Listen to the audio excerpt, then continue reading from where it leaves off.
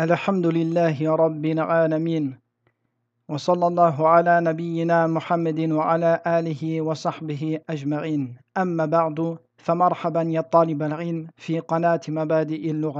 Bienvenue à tous sur notre chaîne Mabadi'ul Lugha pour une nouvelle vidéo. Nous complétons aujourd'hui la deuxième partie du premier cours du deuxième tome des livres de Médine. Précédemment, nous avons étudié Inna wa Akhawatuha. Inna wa Akhawatuha font partie de ce qu'on appelle An-Nawasir. An-Nawasir sont un groupe de mots qui agissent directement sur la phrase nominale. Elles ont pour fonction de changer le sens de celle-ci et de changer le statut du mubtada et du khabar. Nous avons vu que An-Nawasir se distingue en deux catégories, Af'alun wa hurufun. Inna wa akhawatuha font partie de El-Huruf. Inna wa akhawatuha sont un groupe de six huruf, de six particules. Parmi celles-ci, nous avons étudié inna wa anna wa la'alla. Nous avons vu que inna wa anna ont pour fonction de confirmer et appuyer le sens de la phrase nominale. C'est ce qu'on appelle en arabe at-tawkid. Elles agissent également sur le statut du mubtada et du khabar. El mubtada deviendra mansoub et sera appelé ismu inna. Quant au khabar, il restera marfour et sera appelé khabaru inna. Exemple, Zaydun talibun. Zaydun talibun est une phrase nominale. Zaydun mubtada'un marfour. Talibun khabarun marfour. Nous voulons confirmer et appuyer le sens de cette phrase nominale. Nous allons utiliser inna. Nous dirons Inna Zaydan talibun. Certes, Zaydun est un étudiant.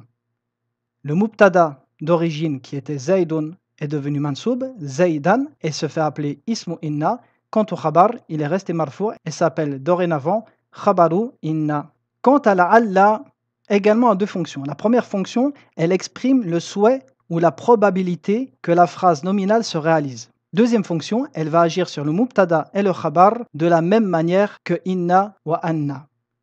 Le mubtada deviendra mansoub et sera appelé ismu la'alla et le khabaru restera marfour et sera appelé khabaru la'alla. Exemple, Zaydun najihun. Zaydun mubtada'un marfour. Najihun khabarun marfour.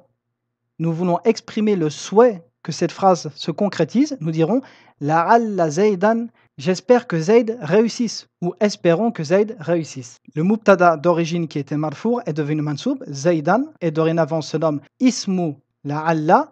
Quant au khabar, il est resté marfour et se nomme Khabaru La'alla.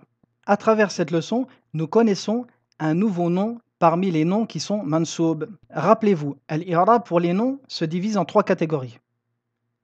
Al-raf'u, wal-nasbu, wal-jarru. Parmi les mansoubat, parmi les noms qui sont mansoub, nous avons vu trois catégories. Al-dhuruf, ismu inna wa khawatuha dans cette leçon, wa tamiz. Exemple pour les dhuruf, fawqa, tahta, qabla. Pour le tamiz, kem taliban fil fasli. Taliban ici est un tamiz, il est mansoub. Et ismu inna wa akhawatuha inna zaydan qa'imun. الدرس الأول هاشم السلام عليكم ورحمة الله وبركاته المدرس. وعليكم السلام ورحمة الله وبركاته. هاشم كيف حالك يا أستاذ؟ لعلك بخير المدرس. الحمد لله. وكيف حالك أنت يا هاشم؟ أنا أحبك كثيرا يا هاشم. إنك طالب ذكي ومجتهد. Comment vas-tu, ô professeur? La'allaka bi j'espère que tu vas bien. Alhamdulillah. Wa kayfa haluka anta ya Hashim? Ana uhibbuka kathiran ya Hashim. Je t'aime beaucoup, ô Hashim. Innaka talibun zakiyun mujtahid. Tu es certes un étudiant intelligent et motivé. Wadhu khuluqin, qui a un bon comportement. Amin Pakistan anta Amin al-Hindi ya Hashim. Viens-tu du Pakistan? ou de l'Inde, oh Hashim. Hashim, inni min al-Hindi. Certes, je viens d'Inde. المدرس وزميلك الذي خرج معك الآن من الفصل أهو أيضا من الهند Et ton compagnon, celui qui vient de sortir avec toi un instant de la classe, est-il aussi d'Inde Hashim, لا إنه من باكستان المدرس إن ساعتك جميلة يا هاشم أمن اليابان هي ta montre est belle, oh Hashim. Vient-elle du Japon Hashim, la innaha min al-hindi al-mudarrisu. Aghaliyatun hiya am rakhisatun Est-elle chère ou est-elle peu onéreuse Hashim, innaha rakhisatun jidda. Innaha. Elle est vraiment pas chère du tout. Elle coûte seulement 100 roupies. المدرس كم أخا لك يا هاشم؟ هاشم لي ثلاثة إخوة المدرس الطلاب هم هاشم لا إنهم تجار المدرس وكم أختا لك هاشم لي أربع أخوات المدرس أفي الهند À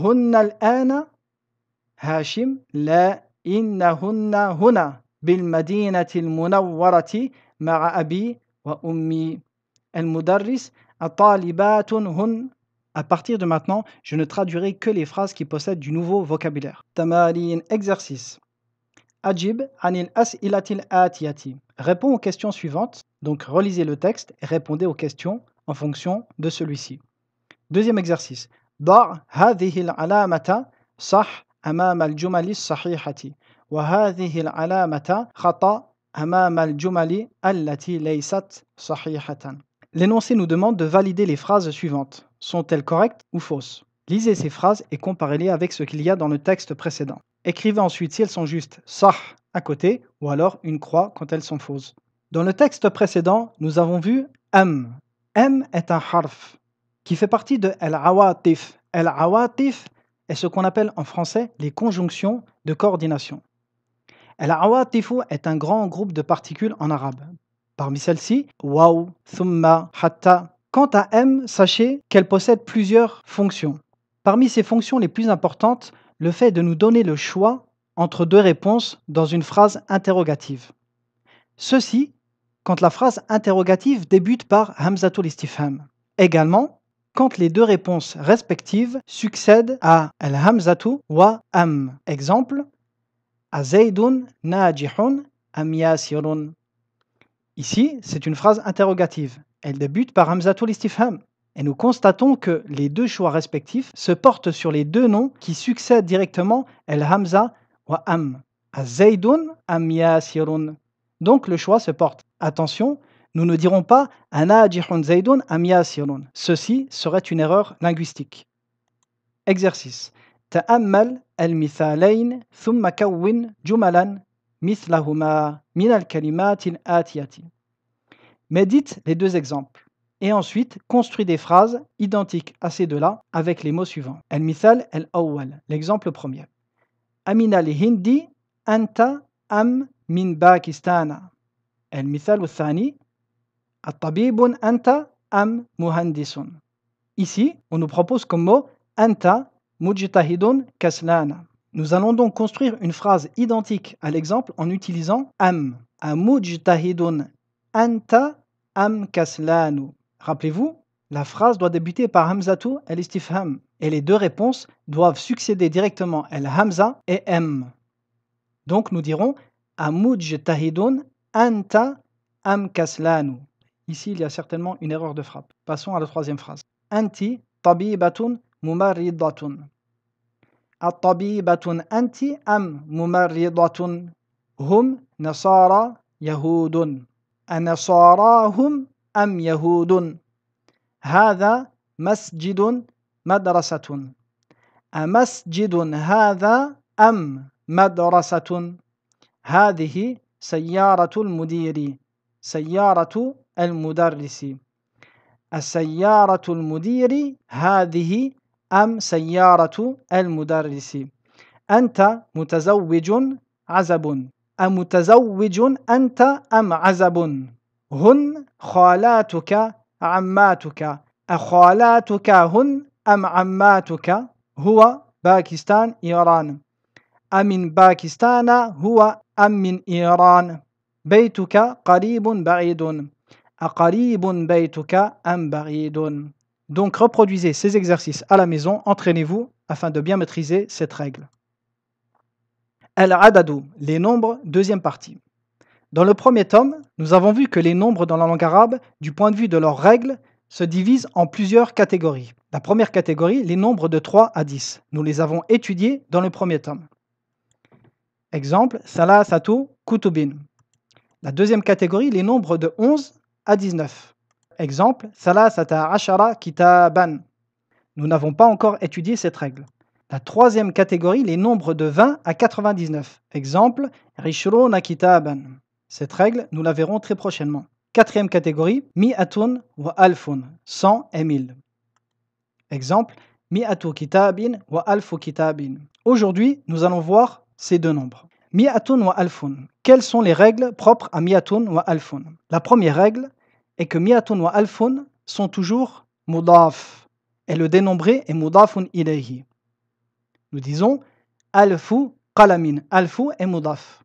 La deuxième règle, quand nous employons mi'atun wa alfun, al-adadu wa al-ma'dudu s'emploie au singulier.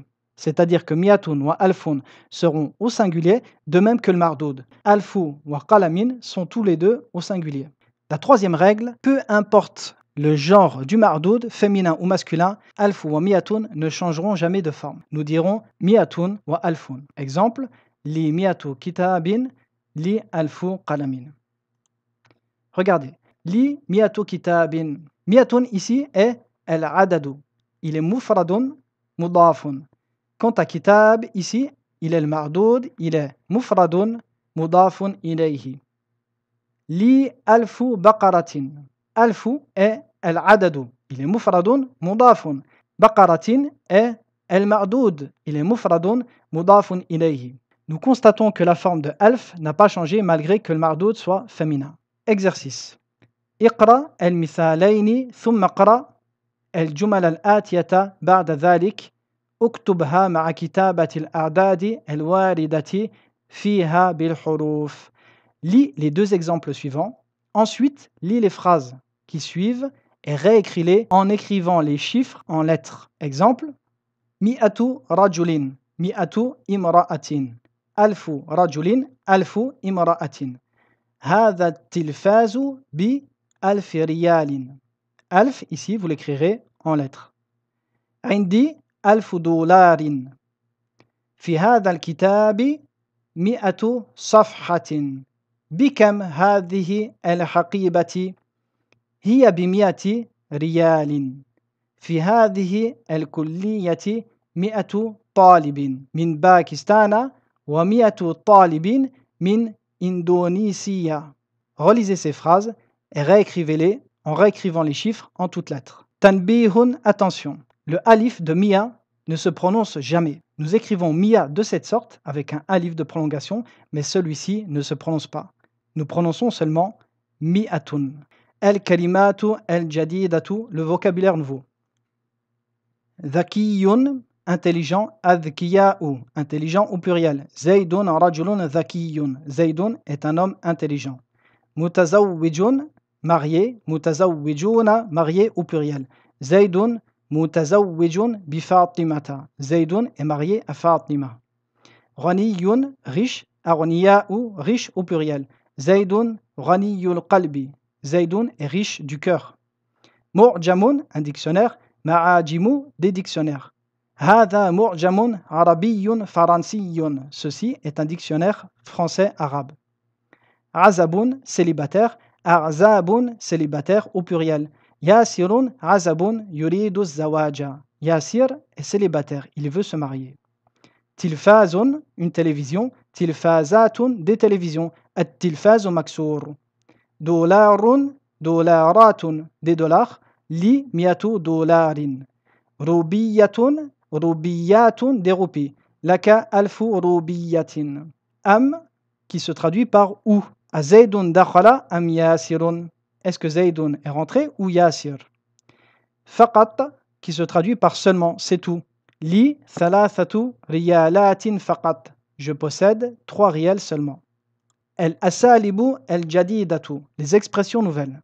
À travers le texte précédent, nous avons vu quelques expressions que nous pouvons utiliser au quotidien. Parmi celles-ci, la'allaka bi. J'espère que tu vas bien. Également, Bikem hada, bikem hada al-kitab. Nous avons étudié kem dans le premier tome. Nous savons qu'il fait partie des noms interrogatifs, asma ou listifham, et qu'il s'utilise pour interroger sur la quantité. Sachez que nous pouvons employer kem précédé du harfu jar bi. Nous pouvons interroger par celui-ci sur le prix d'une chose, par exemple. Bikem hadal kitab, combien coûte ce livre? Nous avons vu également faqat. Cette expression est très pratique. Nous disons Indi faqat. Je possède 100 rials seulement. Nous pouvons également dire Darasa Zaydun en faqat. Zayd a étudié seulement la grammaire. Nous avons vu également dans le texte Dhu. Dhu s'emploie toujours mudafun. Nous le verrons par la suite, il fait partie d'un groupe de mots particuliers que nous verrons très prochainement. Nous disons Dhu khuluqin, Dhu ilmin, Dhu malin. Dhu khuluqin a un bon comportement. Dhu ilmin a de la science, Dhu malin a de l'argent. Nous le traduisons par celui qui possède. Et voici le cours numéro 1 du deuxième tome des livres de Médine qui s'achève. Je vous dis à très bientôt pour la deuxième leçon du deuxième tome. وصلى الله على نبينا محمد وعلى آله وصحبه وسلم